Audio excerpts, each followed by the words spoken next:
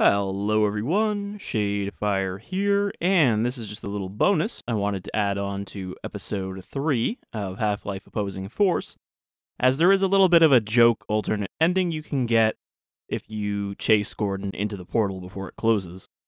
I'm going to load up here, and basically you just have to sprint straight for it. It's not too hard to do. Now, I wouldn't really consider this a proper ending. Now!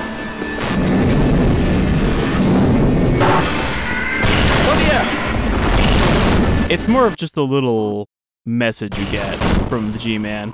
So unfortunately, the islands moved out of the way by the time we jump through. Subject Shepard. Status Evaluation terminated. Post-mortem. Subject attempted to create a temporal paradox. Now! So yeah, you're not allowed to change history.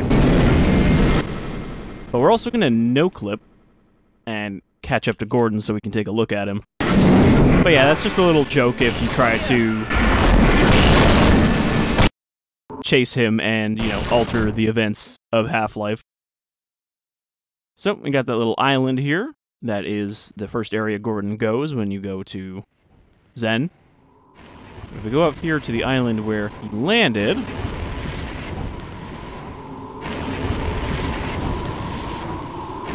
You can see the Gordon Freeman model that you almost never get to see in-game. And for some reason, they gave him sunglasses. I guess just because transparency isn't easy to do, and why would you bother when it's a model you're never going to see up close? Though I imagine you can play as this model in multiplayer, right? But yeah, I don't know. He looks a little bit more like a the space biker that he was originally going to be.